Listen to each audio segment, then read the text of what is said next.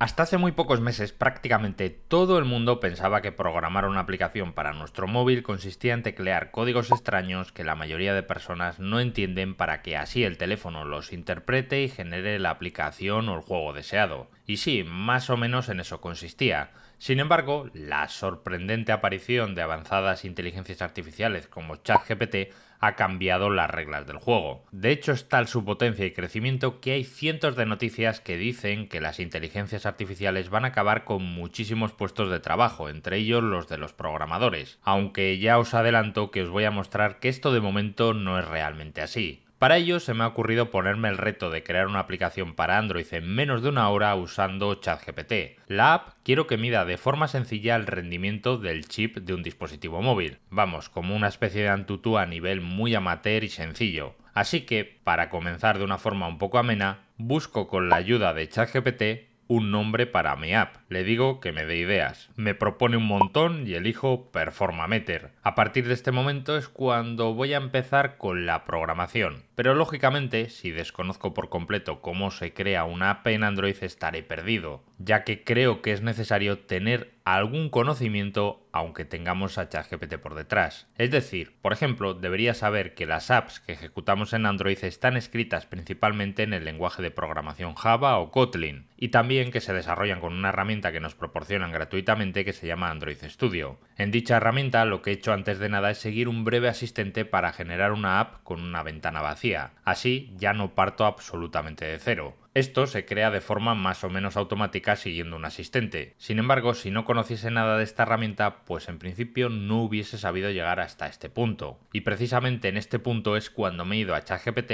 y le he dicho que quiero crearme una app para medir el rendimiento del chip de un móvil. Vamos, como os he dicho antes, una especie de Antutu o 3D Mark. Fijaos que nos dice que hacer una app así es complejo y requiere de bastantes conocimientos algo que es totalmente verídico. De hecho, yo le dije que quería poder evaluar la CPU y la parte gráfica, aunque luego me di cuenta que me vine arriba y que para hacerlo en una hora era demasiado, así que me quedo solo con la idea de evaluar a la CPU. El problema es que ChatGPT ya me ha dado algunos códigos para que mi app funcione, pero solo sirven para indicarnos información y datos sobre la CPU o la GPU. Es decir, con lo que me ha dado no se evalúa nada, simplemente se muestra información sobre el hardware. Por lo tanto, he tenido que darle yo mismo un empujón a ChatGPT y ser más específico. De hecho, le propuse una forma relativamente sencilla para calcular la potencia del procesador. Esta consiste en encontrar los x primeros números primos. Para el que no esté muy puesto en matemáticas, los números primos son pura magia, ya que son aquellos números que son divisibles solo entre uno y ellos mismos. Con cualquier otro número existente, el resto no sería cero.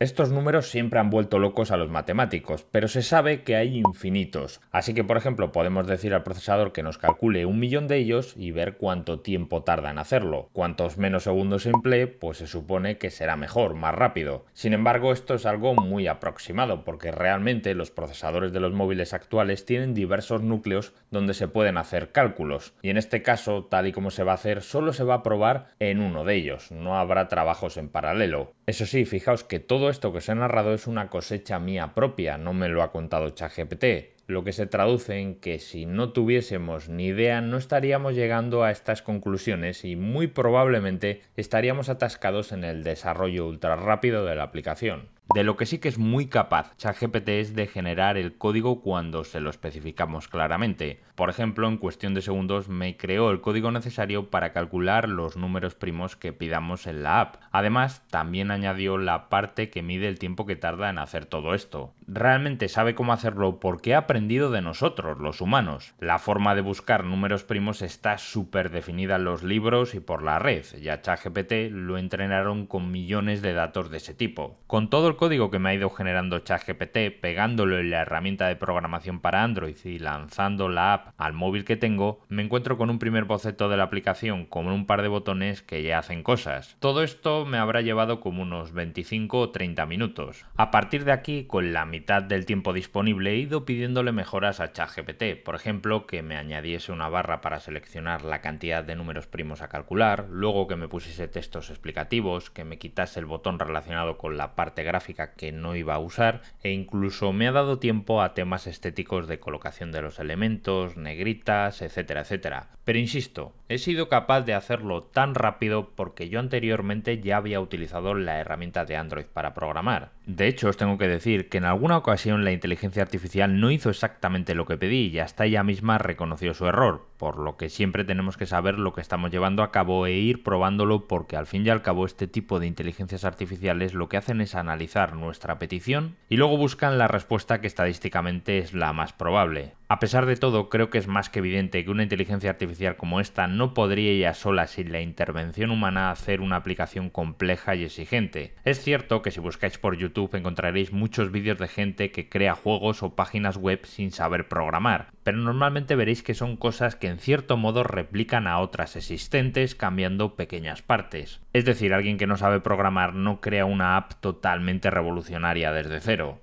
No obstante, lo que sí que consiguen herramientas como ChatGPT es mejorar la productividad de un programador de una manera brutal, porque te ayuda a generar partes del código de una forma ultra rápida. Pero en realidad tienes que saber programar si quieres llegar a cosas serias. Con esto no digo que mi pequeño test de rendimiento sea serio, simplemente ha sido un mini experimento para que veáis cómo están las inteligencias artificiales en este campo. Para conseguir hacer un test de rendimiento más exhaustivo y real necesitaría invertir mucho más tiempo, hacer pruebas, etc etcétera, Por lo tanto, mi conclusión tras haber hecho esta prueba es que el humano sigue siendo el que tiene que estar por detrás de cualquier proyecto medianamente complejo de programación. No puedes decirle por el momento a la inteligencia artificial, oye tronco, hazme un GTA con coches voladores en la ciudad de Londres y marcharte a tomar unas birras, porque aquello no va a funcionar y no va a generar nada. A ese nivel no se ha llegado y somos totalmente necesarias las personas. Aún así, me gustaría que en los comentarios me dijeseis si creéis que vuestro puesto de trabajo actual en un futuro cercano podría ser llevado a cabo parcialmente por una inteligencia artificial. Me interesa muchísimo conocer vuestra opinión, os voy a leer a absolutamente todos. Nos vemos